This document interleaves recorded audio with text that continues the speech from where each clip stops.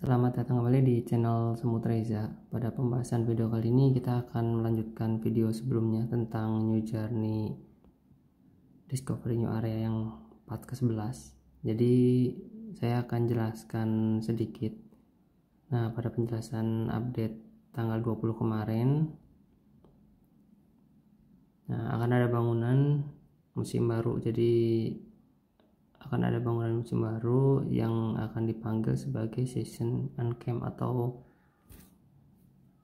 perkemahan semut musim ya. Nah, musim semut bisa.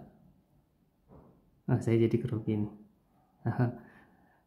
Oke, jadi di mana Anda dapat memanen semut musim, lalu mengecek resource, langsung aja ke sini. Ini tampilannya. Nah, ini ada menunya, tampilan bangunannya. Dan nanti Anda bisa melihat hailing, terus kayak historizationnya. Ini kan nanti penjelasan kecil lah, ini penjelasan kecil. Jadi tampilannya seperti ini. Nah, bangunannya mungkin harus dibikin dulu nanti ya. Nah, selanjutnya Nah, ini office-nya agak loading. Nah, di masa lalu kami menyebutnya bahwa Anda dapat memperoleh pasukan musim baru melalui tindakan berikut. Nah, di sini katanya kita bisa dapat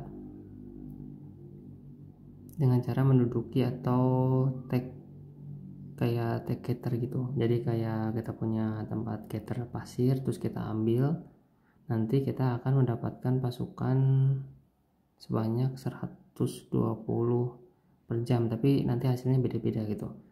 Nah jadi dapat pasukannya itu dari kalian menempati sebuah tempat cater gitu. Nah terus untuk selanjutnya nah ini penjelasan detailnya ya. Takut kalian mau baca. Nah ini lebih detailnya. Nah intinya seperti itu. Nah, selanjutnya di di sini Anda bisa ngetik satu-satu. Uh, ya menduduki lah menduduki satu-satu nanti kalian dapat pasukan. Nah ini ada penjelasannya. Jadi kayak kita kayak kita catering di pasir di tanah basah gitu. Jadi sama.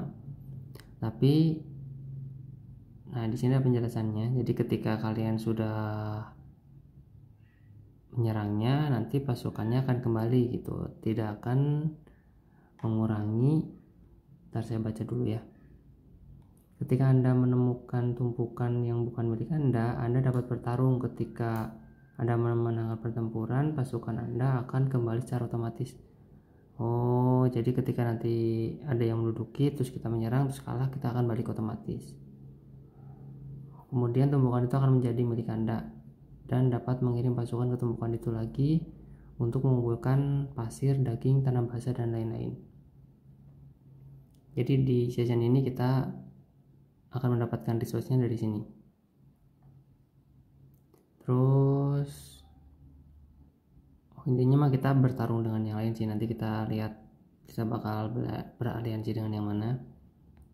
Kita lihat yang lain nah ini untuk tempat healingnya nanti itu nggak akan ada limitnya ya. Oh nggak akan ada limitnya. Jadi intinya itu saja sih. Uh, saya tidak panjang lebar. Jadi intinya update nya terbaru itu. Saya akan upload video part 12 nya besok tapi akan saya buat videonya hari ini. Jadi saya akan baca lebih detail lagi. Nanti akan saya buatkan videonya jika ada koreksi dan saran masukan silahkan tulis di komentar ya. Terima kasih atas semua dukungannya. Semoga kalian sehat selalu.